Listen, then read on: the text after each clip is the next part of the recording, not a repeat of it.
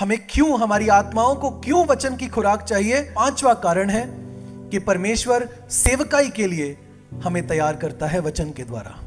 Hallelujah.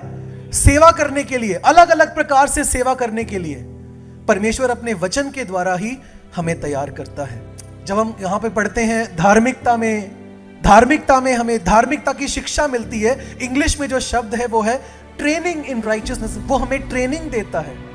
परमेश्वर का वचन हमें सेवकाई के लिए तैयार करता है। हमें प्रेरणा देता है।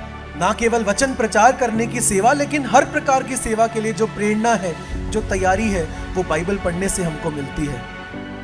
और जितना वचन आपके अंदर है, मैं हमेशा से बोलता हूँ, बहुत सारे लोगों को मैं विशेष रूप से बोलता हूँ, जितना वचन आपके अंदर है, परमेश्वर आपके अंदर उतना ही वचन इस्तेमाल करता है।